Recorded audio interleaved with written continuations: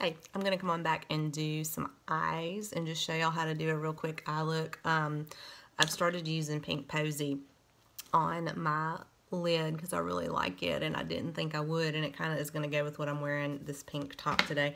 But I do Sandstone Pearl Shimmer all over and our shadow senses are cream to powder. They're very concentrated so you don't need to use a whole lot of them.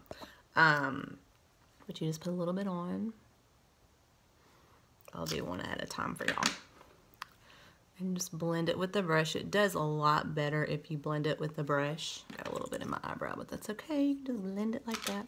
Um, blend it with the brush. This is Sandstone Pearl Shimmer. I love this color. I wear it every day. It's not too much. I mean, it gives you a little bit of pop to your eye, but it doesn't make it look like, oh, you're 42 and got shimmer all over your eye. Okay. It's subtle, but it gives you a little bit of highlight to your eye. It's really pretty.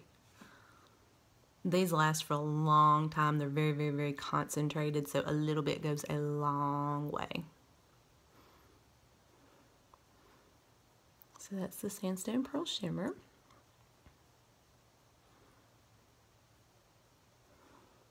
And our shadow sense is awesome too. It doesn't smudge, budge, doesn't crease, doesn't wear off by the end of the day and I've never had an eye color last the way this one does. It's awesome.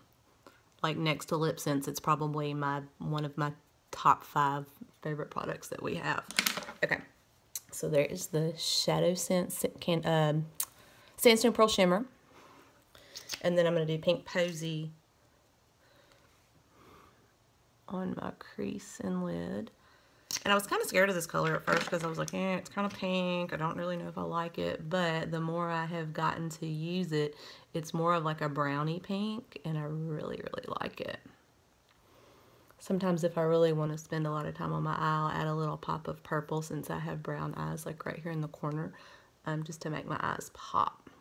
I'm not going to do that today, but that is something that I've been kind of playing around with. Just blend it with the brush. Now, y'all don't laugh at my brush. It broke like the day I got it. And I was leaving for Cabo the next day, so I had to like rig it and put some lip tape on there. So don't judge my brush. it works good though. It's just, it broke. The little wooden piece, I guess it was just a bad shipment because I had two of them that ordered that broke, but that's okay. It works just fine now with this lip tape on it. It might look stupid, but it works. All right, so there's the pink posey. And sometimes I'll go back and put a little bit more of the Sandstone Pearl Shimmer right here on the lid just to kind of give a little highlight effect to my eye. All right, I'm gonna do the other one. I don't like it super, super dark. I like it kind of subtle on my eyes just because I'm still learning how to do all this. And I'm not really going anywhere. I do have a lunch meeting um, with somebody that's gonna do a vendor show with me. To, well, she's gonna do it at the end of the month, but Got a lunch meeting at 11. And I did that side a little bit darker. But you can blend it with my little rigged up brush.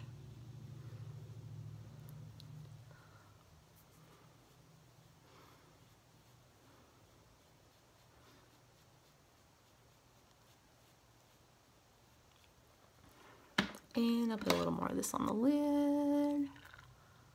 Piece of fuzz, sorry.